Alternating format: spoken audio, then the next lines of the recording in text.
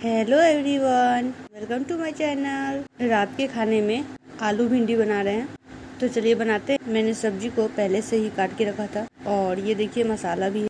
सरसों, लहसुन, जीरा, धनिया, प्याज, मिर्ची, इन सब, इन सभी को मैं ये देखिए, तेल हमारा गर्म हो चुका है। इसमें हम आलू भिंडी डाल देंगे। और पाँच मिनट के लिए भुनेंगे अच्छे से। और इसमें थोड़ा नमक भी डालेंगे।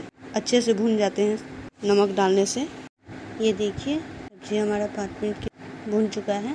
अब हम इसे निकाल ये देखिए तेल हमारा गर्म हो चुका है। इसमें मेथी का फ़ोरन डालेंगे और मसाले को डालेंगे।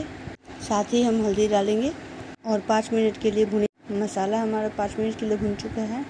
अब हम इसमें डालेंगे टमाटर और एक मिनट के लिए भुनेंगे और नमक भी अब हम इसमें आलू भिंडी भी डाल देंगे और एक मिनट के लिए इसको भी भुनेंगे। अब हम इसमें आधा गिलास पानी डालेंगे। और पाँच मिनट के लिए पकने देंगे।